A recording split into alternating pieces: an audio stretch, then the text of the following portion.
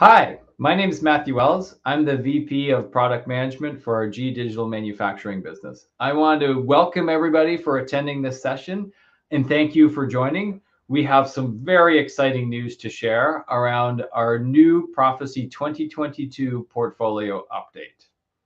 We do have uh, an esteemed panel uh, here today to talk you through the uh, the releases that we'll we'll hear about today. Um, each of them will introduce themselves at the beginning of, uh, of their section.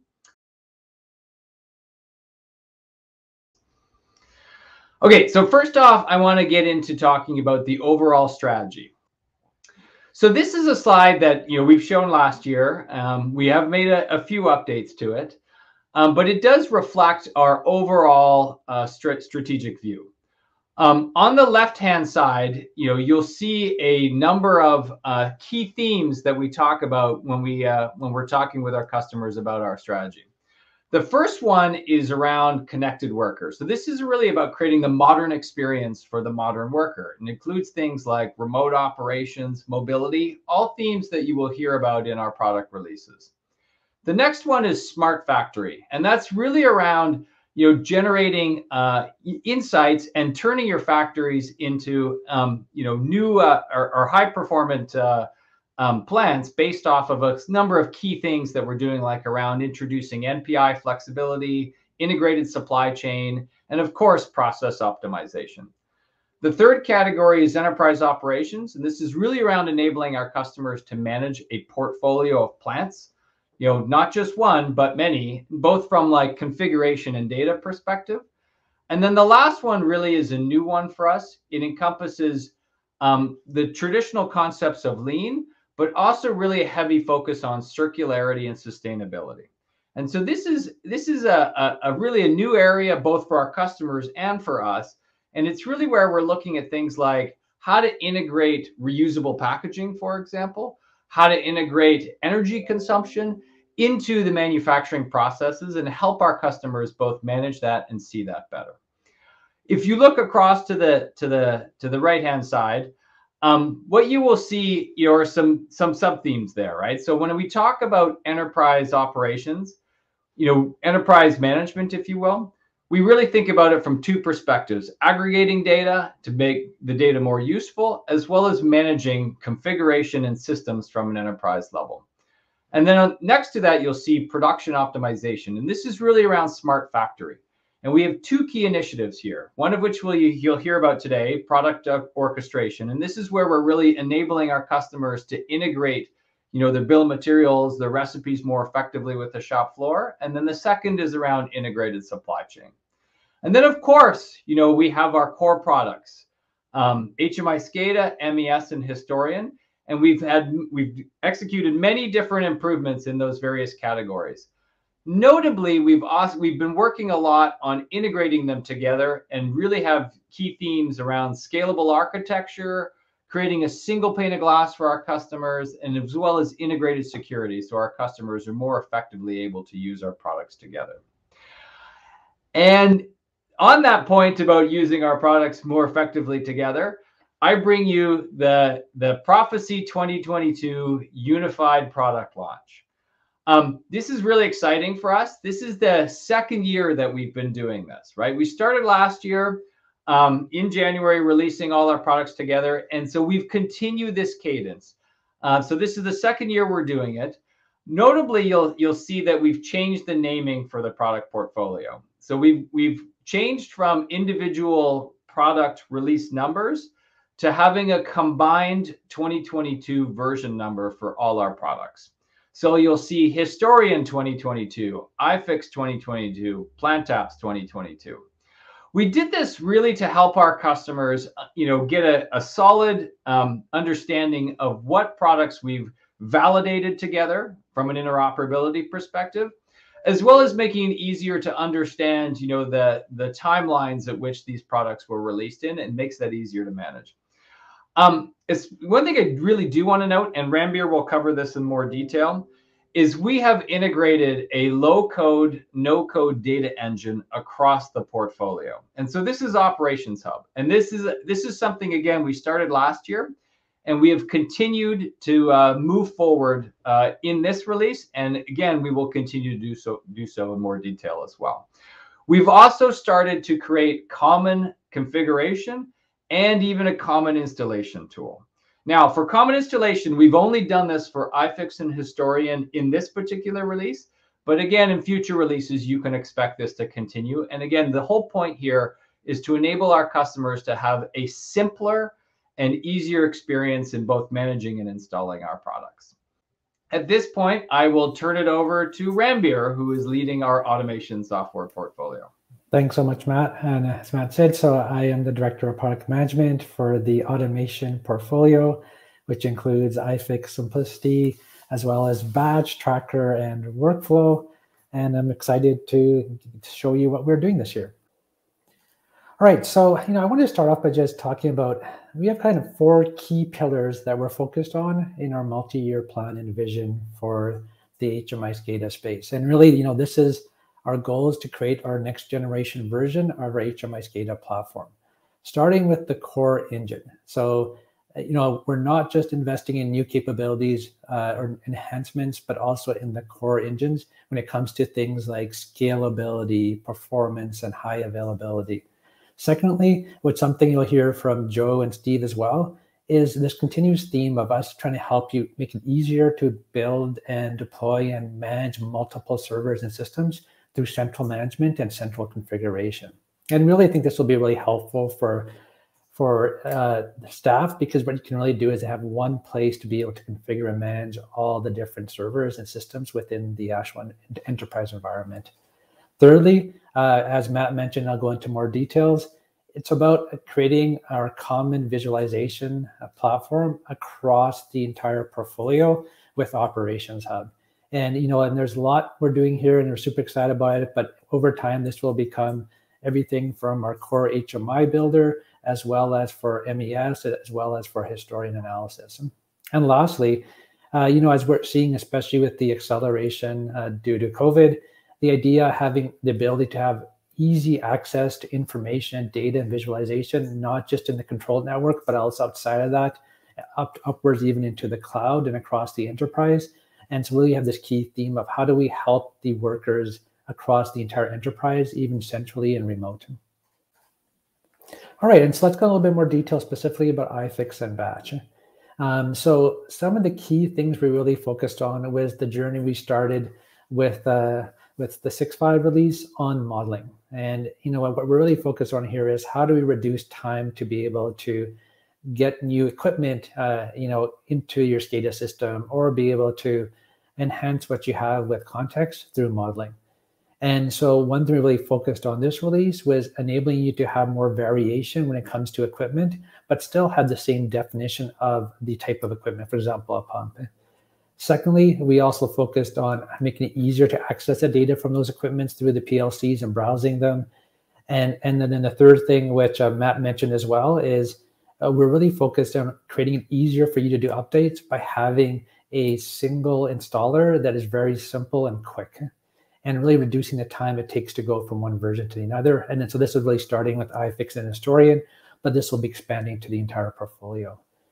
And then the last one, you know, which is also really critical, is um, we really focused also on trying to make it easier for you to be able to do authentication and authorization across the Proficy suite with uh, our Proficy authentication service.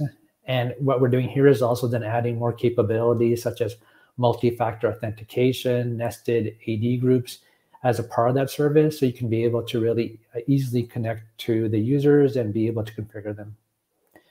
And then secondly, um, the second key theme here really is about cost of ownership. Uh, one of the exciting things that we are doing is uh, we're adding new types of uh, bundles of how we are actually letting you purchase the product. And, and, so we are adding some unlimited client offerings as well. And, uh, you know, please reach out to myself and the sales team if you want to learn more about that. Uh, the real key here was that we want to make it really easy for you to be able to leverage the products in a way that's most effective for everybody within the plant.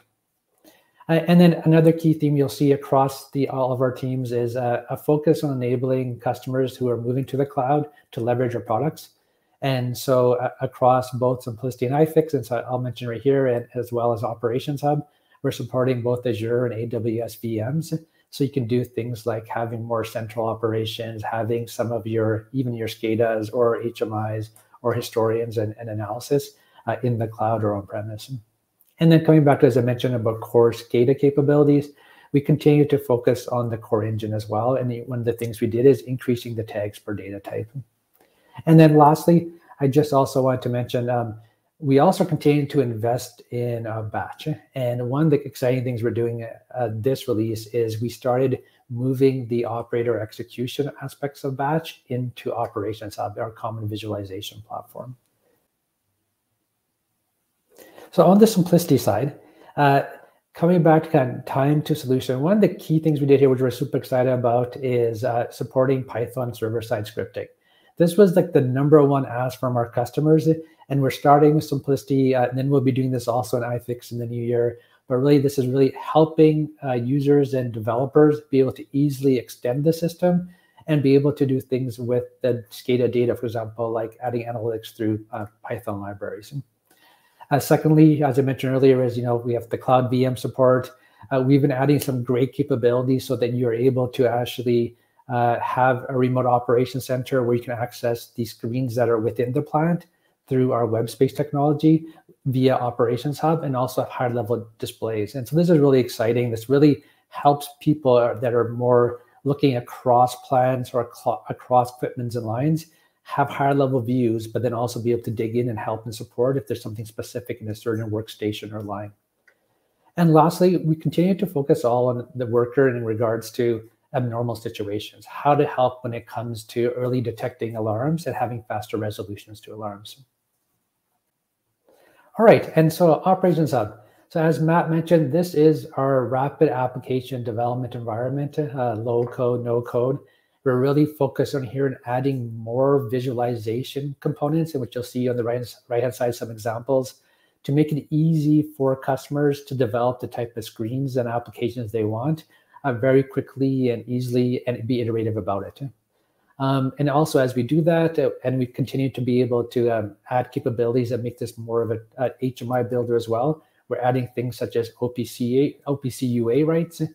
Uh, and then if you look at the bottom, if it comes back to the journey of what we're doing with Operations Hub, uh, there's three different uh, key areas we're focused on. Uh, the first one is what we call OT business intelligence. This is all about uh, doing things like historical analysis, having accessibility to users outside of the control network. So that could be a process engineer, that could be a plant manager, that could be a GM, that could be a remote user. Um, and so we've really focused on that for the uh, for the last year and a half, two years, is really adding capabilities to have that type of analysis and higher level dashboard displays. Secondly, on the MES side, Joe will talk more about this. You know, we're doing a lot of great new capabilities with new widgets and new screens and, and new interfaces for operators.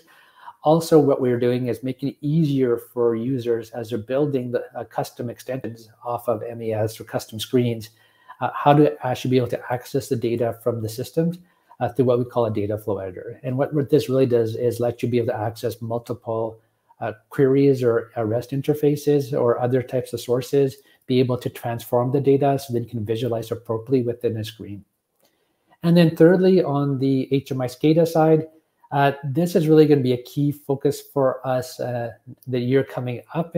But we've started really this journey of making Operations Hub now more like an HMI builder by adding things like uh, the ability to have a mimic widget, which is uh, what you do with that is basically able to create something in both iFix or CIMPLICITY as a screen, be able to publish an operations hub uh, as like, you know, could be, for example, a PID screen. Adding things like alarm widget, as I mentioned, having WebSpace access for remote access for remote operators. And then also lastly, as I mentioned, with uh, Proficy Batch. But just reiterate again, the key thing here is what you're seeing is across the portfolio, all runtime uh, applications will be within Operations Hub as our common platform. And with that, I will hand it off to Steve. Thank you, Ranbir. Great to be with you, folks. Uh, I'm Steve Pawlowski, responsible for uh, GE's Historian product, as well as uh, some other components of, of our portfolio, including including drivers. Uh, and I'm going to focus today on what we're doing with Historian. So, as we exited last year, we introduced Historian 9, which was really focused on large scale deployments. And as we move into this year, we continue our focus on enterprise scale data management. Um, and so that's along three key themes. First, um, enhancing system management and connectivity. Uh, the second being really helping our customers, especially in these larger systems, be able to extract more value from the data that they're storing. We recognize that data value doesn't come from storing the data, it comes from making that data available to your users and other applications. And then lastly, what can we do to further accelerate bridging the plant floor to the cloud at enterprise scale? So as I talk about each of those, it's really that this is really our focus. Um, so in the case of enhanced system management and connectivity, a couple of key elements. Um, number one, we're working uh, on a cross portfolio system health management solution that will be able to help you manage all of your Proficy portfolio solutions, uh, troubleshoot them, and make sure that they're running better. Um, we're working with uh, this new configuration single pane of glass that Matt actually mentioned and Ranbir also mentioned. So uh, historian, iFix, plant applications, all will live uh, as we exit this year in the configuration environment will live in a single container and you'll be able to see the interaction between those products. Uh, we're adding rich Python support. So just like Ranbir talked about with CIMPLICITY and moving into iFix, you know, we're adding a new Python collector uh, similar to the calculation collector today, but but allows the use of Python libraries to interact with your uh, with your historian data. And then as we get further into the future, right, we have an MQTT collector today, uh, and we support MQTT endpoints to send data to the cloud. Uh, but we're going to make that richer. We're adding Kafka support. So again, modernizing the infrastructure uh, and also starting to learn to leverage Kubernetes for managing the on-prem deployments um, to, to create new high availability architectures. From an, an enhancing of creation of value perspective, um, we are adding a model to the historian. So just like uh, Ranbir and the team added a model context to iFix with iFix 6.5, Historian 22, 2022 will have its own model service. And that model service will allow you to create context for the historian data it will be exposed via REST, so you'll be able to query the data and query the model via REST applications. Um, and it will also facilitate interfacing to BI tools, and, and we're actually doing some performance enhancements there as well. Um, and then lastly, um, and this is a little bit more as we look into the future, um, in we do expect in the first half of 2022 to have our first cloud native version of Historian. So as many as you many as you may know, we introduced a Linux version of Historian back in 2019. We've taken that um, and are deploying it, making some architectural changes to create and the auto scaling uh, expectation um, to create a solution that meets the auto scaling and high availability um, capabilities of the cloud and bring that to the operational historian market. Um, the, this solution will have the identical client interfaces. You'll be able to use Operations Hub. You'll be able to use X, the Excel add-in, just be pointing to a cloud instance of Historian instead of an on-prem. Um, we'll add in cloud service integrations to make it easy for you to integrate your OT data with your business systems, such as data lakes, and and and take advantage of the analytic platforms that are available in the cloud.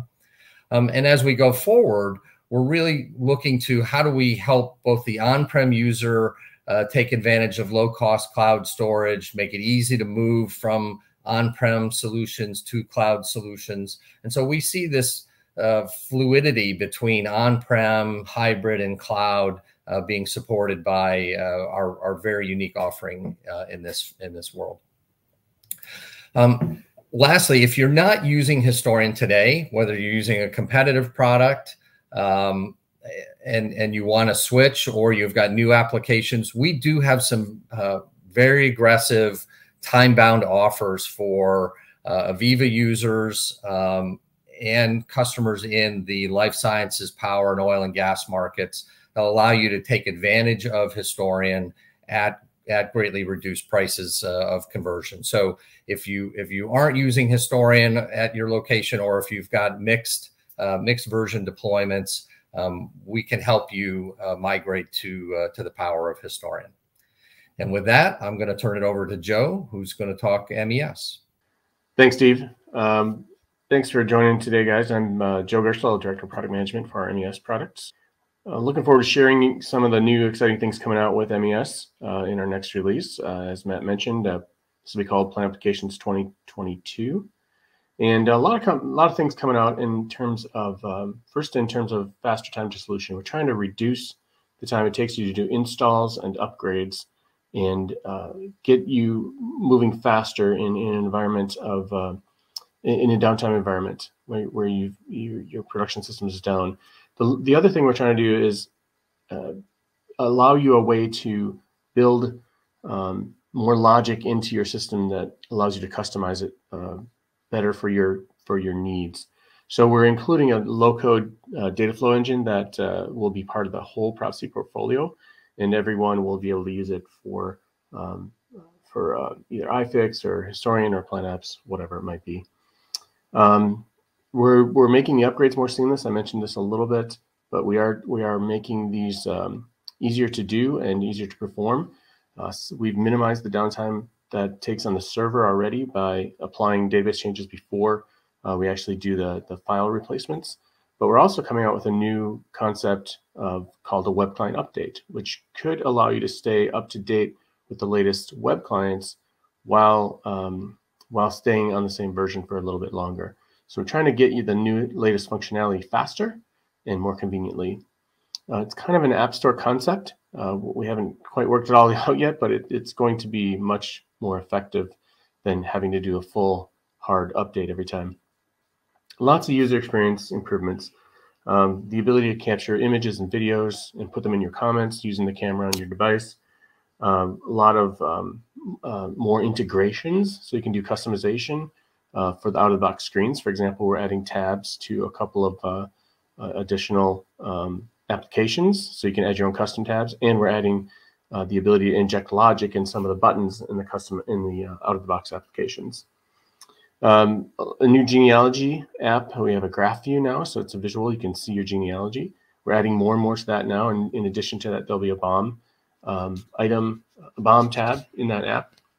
Uh, a new a new app altogether called the Operator Log app, which allows you to do handover uh, on shifts and allows you to create something that we're calling incidents. So perhaps something you want to track that uh, happened on the shop floor. Um, you know, there's a spill of some chemical or whatnot, and you want to track that as as something that needs to be addressed and taken care of. Um, and then we're we're we're still focused on our one MES across all environments. So regardless of whether you're running process or discrete, we'll be able to handle that type of activity. And we're finding a lot of process folks do have a lot of um, discrete elements to their to their manufacturing process that that this can be helpful.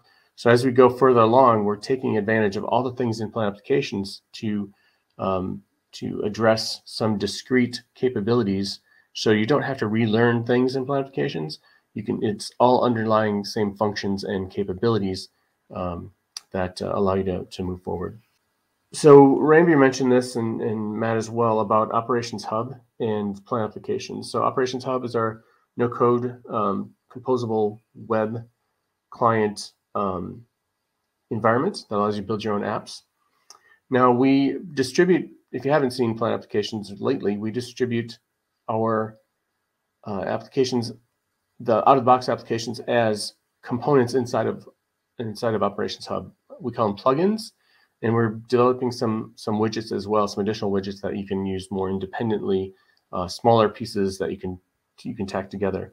So you can make your screens look the way you want to look them. So an example is you see here the bottom screen. The bottom screen is um, represents the plant applications um, information, uh, one of our web views that exists today. And you can shrink that up, for example, and put your other information from other systems, from PlantApps, from Historian, whatever it might be, on top of uh, that, that information. Um, and then we, all of this is built for mobile environments. Um, the tight integration between plant applications and operations hub provides security that you would expect from GE Digital. And then again, kind of wrapping up uh, what we talked about earlier, these are the new capabilities that we're expecting in Plant Applications in December. Uh, in addition to, to these, um, there'll be some additional capabilities coming in January, right after that, a fast follow. Um, and this is we'll use the new web client update, which is going to be much easier for you to apply those. Um, but the the things we talked about earlier, these are uh, same kind of elements right here. Uh, one thing I didn't mention is more ERP integration. I think we have 15 messages now to talk to ERP, much more extensive than we've had in the past. Uh, and then um, a lot of a lot of again doubling down on discrete, where we talk about we're we're putting more effort towards that discrete component because we see it as a growth area, and uh, expect some of our process customers to find value in that too. And the last thing I want to talk about is Proficy Smart Factory, which is coming in November. This is our enterprise-wide um, cloud environment for plant applications. So this is plant applications under the covers. Uh, it, it's uh, uh, obviously proven, and uh, there's no risk to to use because there it's a fixed price. You don't have to be concerned about um, racking up additional costs because you're using PlantApps more than you would uh, normally uh, because it's all fixed price based on um, annual price. These are hosted services, so no no upfront cost for you. It's a faster time solution because we can get it up and running really quickly and provision the service as you need it and it grows at your pace. Uh, we are we've taken a lot of care and effort into making this scalable and highly available. So uh, we're learning a lot of things here that actually will be able to apply to the on-premise products as well. Um, with that, I'm going to hand it over to Prasad. Hey, thank you. Um, thank you, Joe. Uh, hello and welcome, everyone. Uh, I'm Prasad Pai. Uh, I'm the Principal Product Manager uh, for uh, our newest product in the portfolio called Orchestration Hub. Uh, Orchestration Hub is also our first offering in the enterprise-wide production optimization space that Matt mentioned in his in his portfolio slide. Um, Orchestration Hub is is focused on um, current customer problems um, that we've heard from uh, from doing multiple uh, rounds of VOCs with uh, with the process industry customers and it's it's focused on their issue of being able to effectively manage shared or master uh, product data as as they call it uh, across their um, across their factory floors.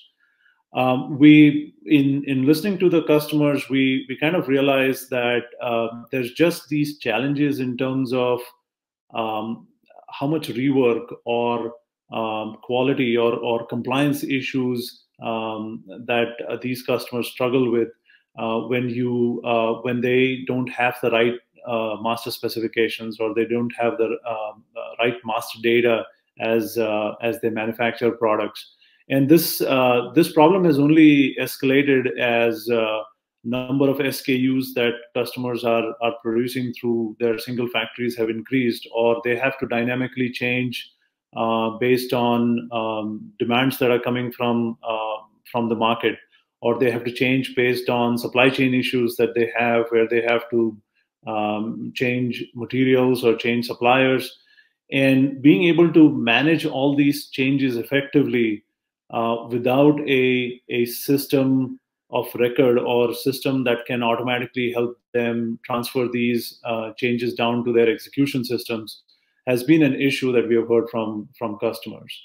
Um, so what we uh, what we did as part of uh, the product development cycle is worked with uh, worked with some of uh, some of our customers. Uh, we had innovation customer partners that uh, partnered with us to help define what a solution map would look like for Orchestration Hub. Um, and we've been able to do some POCs with these customers to prove out um, different modules modules for for a solution under the orchestration hub portfolio. Uh, so looking at um, when we when we think about orchestration hub, what we are what this particular product or solution is catering to is is the quality or the process engineer persona, uh, whether it's it's at a enterprise level or whether it's at a plant level.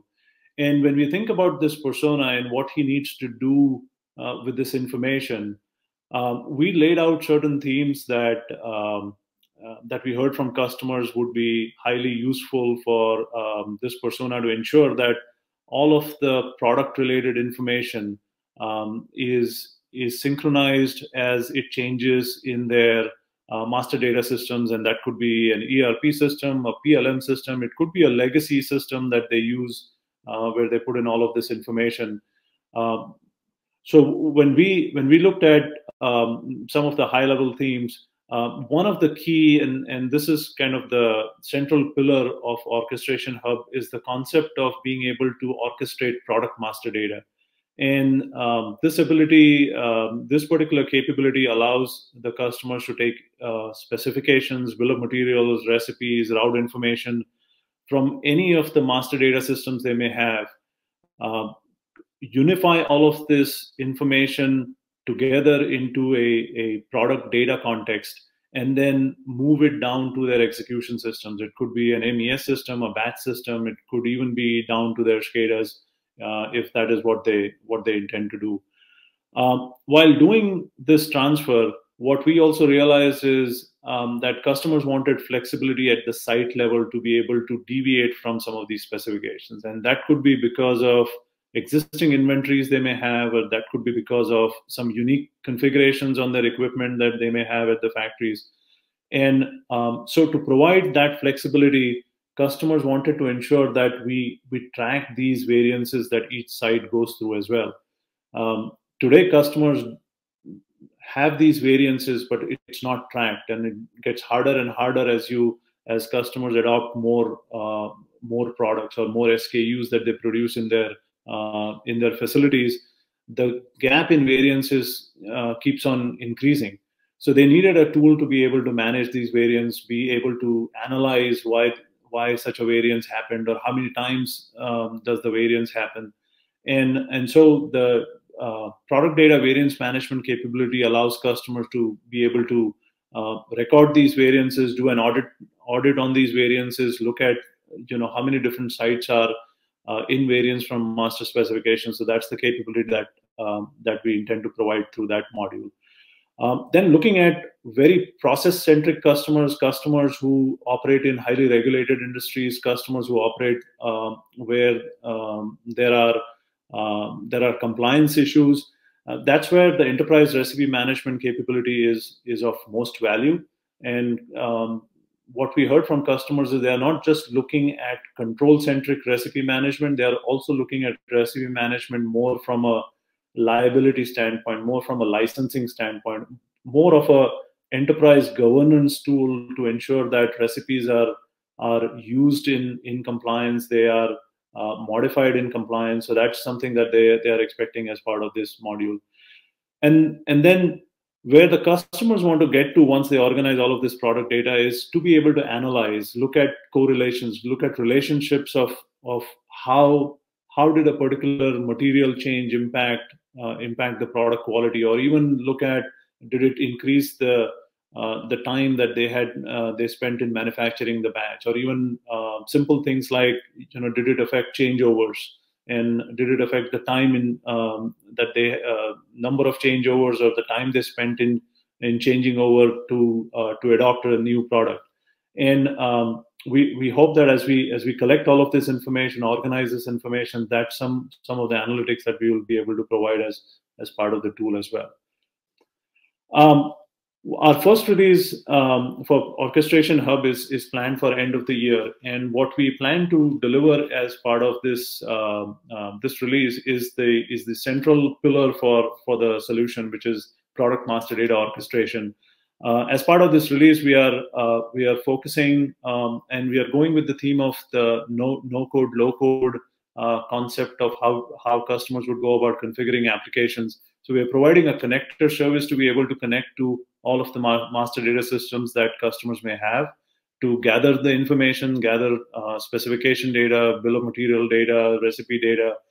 Um, then using our operations hub product, design a, a OT level product data management UI where we collect all of this information, pres present this information in a in a product context so that uh, users are able to then decide on whether they just um, transfer all of the master specifications down to their execution systems or they deviate from it or go through some quality permits that they may uh, that, that they may re request from higher level uh, quality personnel. And then while they are doing that also record all of these changes and variances that each site does and give the give the customers the ability to do variance management as um, as they transfer this information so that's basically the um, the first release that that we'll have um, at, at the end of the year so with that i'll hand it over to matt Thank you, Prasad. I'm so excited about this new initiative, uh, Orchestration Hub. So I want to talk analytics. Um, you know, we talk about process optimization. So, you know, analytics is obviously a key facet of that. Um, really, when we think about analytics, we think about it in these four different tiers. Um, the first is around cloud analytics. And really, we see this as being for customers who want enterprise level, enterprise wide uh, optimization routines. The next level is cloud data aggregation. And again, this is um, this is enterprise focused. Um, this is our manufacturing data cloud product where we see aggregating data together as an effective way to accelerate the development of analytics. The third is really around on-prem control loop monitoring and optimization. And you know, really the, the sort of difference here is, you know, we have we have our offering cSense, which is really targeted at the shop floor user because it is often plugged into real-time control. Um, and again, it, it, does, you know, it does a whole bunch of things, uh, five in one closed loop capabilities. And then the, the last category is around embedded analytics. And this is really where, you know, an example of that is Sensor Health, which we released earlier in, in uh, 2021. Um, and this is really where we find specific analytic applications and package them up as a, as a you know, dedicated uh, application. So I'm going to talk about what's, you know, what's new this year. The first is operations analytics. And so this is a new offering from us, and this is really around cloud-based analytics. Uh, and this is a an enterprise-wide platform that allows our users to easily develop their own uh, process optimization routines you know, across our portfolio, we're, you know, talk about low code, no code. And this is another example of that because this application is designed for the non-data scientist. It's really designed for the citizen developer. And what makes it really unique, I mean, in, you know, is in addition to the fact that it is, you know, a drag and drop, you know, graphical environment to construct your analytics, it comes with a set of pre-built templates that solve very specific problems. So for example, if you want to do a predictive quality application, it already has the right algorithm selected, already packaged in, you know, like a, a self-contained uh, learning loop. And, and really all the user has to do is wire up their quality inputs to start generating an accurate prediction of, of quality. And so this is true for a number of different areas. You know, we have production throughput templates, energy efficiency, uptime, reliability, and so on. So talking about, you know, aggregating data, you know, uh, we continue to iterate on uh, MDC, our manufacturing data cloud. What's new uh, for 2022 is uh, a number of, um, you know, continued improvements around performance and data model enhancements. But in particular, we've introduced a BI starter kit. Uh, so we have more than 40 report templates that are designed for Power BI as an example, and really enables the, our customers to quickly leverage the data that they've been collect, collecting in a tool that they're familiar with, uh, Power BI, for example. Um, and again, you know, it's it, it, and the reports have been a big hit with our customers. They really see instant value out of it. So again, another exciting thing. Um, Relative to on-prem analytics, um, we do we continue to enhance uh, cSense. Um, you'll see this is cSense 8.5. Uh, we, it happened just before we uh, we nailed down the 22 uh, 2022 naming. Um, so this year it'll be known as 8.5, but in subsequent years you'll see it as cSense 2023 as an example. But in this release, um, we've uh, again we've made some uh, improvements around installation and usability, making it easier to, to to use and install. But in particular, we've introduced a new feature, a PID control loop tuning, and then also a system identification assistant. So two assistants that we've added. That really help the user evaluate their control performance and then make changes. Um, so again, focusing on the theme of leveraging analytics for you know shop floor plant uh, control improvement, um, we made uh, some great improvements here. And so I do want to finish off with uh, reminding everybody about our unified portfolio launch. I hope you've seen a ton of great stuff, and we're super excited about it. Um, I do again want to uh, thank you um, on behalf of the whole panel and uh, GE Digital for joining, and uh, we really hope this was helpful. And and again, thank you for joining.